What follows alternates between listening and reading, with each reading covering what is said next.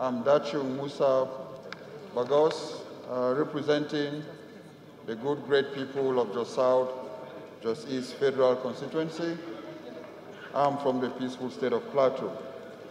Mr. Speaker, honorable colleagues, I'm standing under Order 8, Rule 4, the motion of urgent public importance for the need for government to secure the release of Reverend Polycarp Zango, who has been in Boko Haram captivity in the past five months.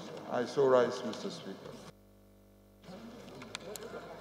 Mr. Speaker, highly respected colleagues, my name is Rep. Otumba Adewumi Oriyomi Onanuga. I represent the fabulously united people of Ikenne, Shagamu, Remo North. I am from Ogun State. I rise to second the matter of urgent public importance raised by Honorable Bagos. I so second. Honorable colleagues, I remain Dachung Musa Bagos, representing the people of Jos South, Jos Federal Constituency from Plateau State. The House is aware that Reverend Poly- Polycarp Zango, a pastor of Church of Christ in Nations COCIN Wildlife Park, Jos, Plateau State, along with two women who were heading to Gombe from Jos for a church conference were adopted by Boko Haram on October 19, 2020.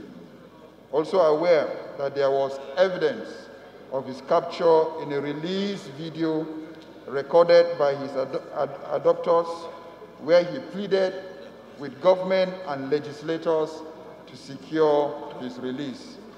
Concerned that this is the fifth month of their captivity.